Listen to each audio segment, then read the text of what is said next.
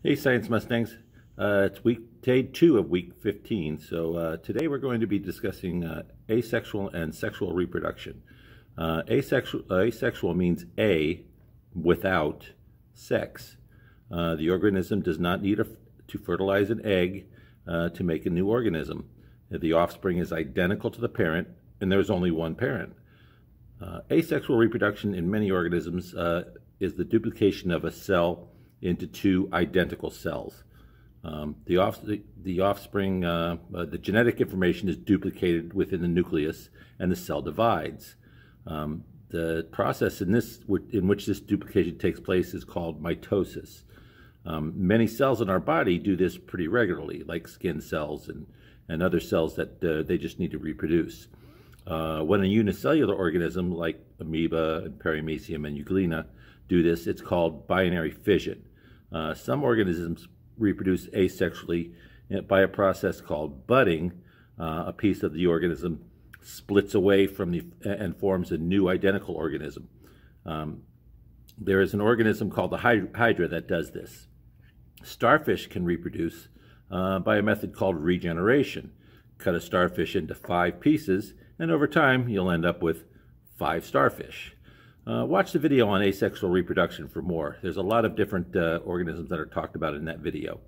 A asexual reproduction always creates identical cells or organisms.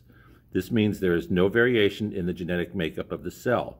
Um, it's faster because they don't need another parent to reproduce, but uh, uh and so they can reproduce much more quickly.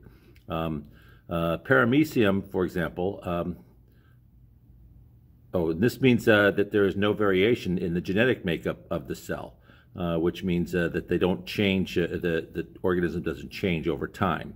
Paramecium can add variety to their genetic makeup by doing a process called conjugation. Uh, and they do this with other paramecium, and they exchange genetic material in this, in this way. Uh, there's a short video down there of showing the conjugation of two paramecium as well. Uh, when they do this, it's more like a type of sexual reproduction. But the paramecium pairs do not produce offspring uh, like uh, uh like we do or other organisms do when they're when they have sexual reproduction. Uh, they can reproduce as normally would, and the and the genes uh, or the genes are divided, and they have a new set of of genetic information, but it's it's still the same paramecium uh, dividing itself into multiple other paramecium. Uh, our main focus is going to be on sexual reproduction, which requires two parents. And an egg is fertilized by a sperm and produces offspring. This occurs in plants as well, if you recall your sixth grade science. In, in a plant, the egg is called an ovum, and the sperm is called pollen. Uh, when an egg cell and a sperm cell join, that's fertilization, the growth of a new organism or offspring proceeds by the direction of the DNA in the cells. Um, so uh, sexual reproduction results in a lot more genetic diversity because the chromosomes come from two different parents and they're combined together. Uh, genetic diversity leads to more adaptability and differences in appearance and survivability, but it requires two parents and generally more care for the offspring. So those are the difference differences between asexual and sexual reproduction. We're going to go into a lot more detail uh, with um, sexual reproduction over time. Uh, so um, uh, stay tuned for that uh, starting next week. All right.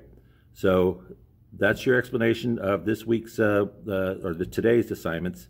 Uh, there's a um, a Quizlet that's going to be available that is available to you now to review the terms and uh, we're going to be doing this live with the, with the, students in class.